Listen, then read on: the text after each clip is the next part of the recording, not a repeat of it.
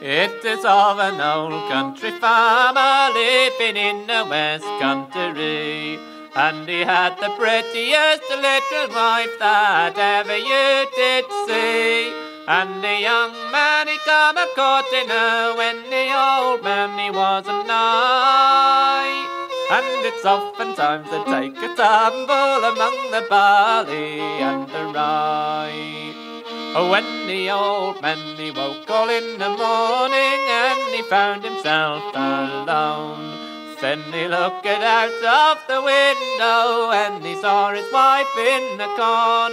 And the young man he lay beside her, which caused the old man to cry. Saying, wife, wife, I wonder at you, you're a spoiling of my rye. Oh, husband, she cried, oh, husband, it's the like I've never done before. And if you have lost a one good friend, love, I've another one in store.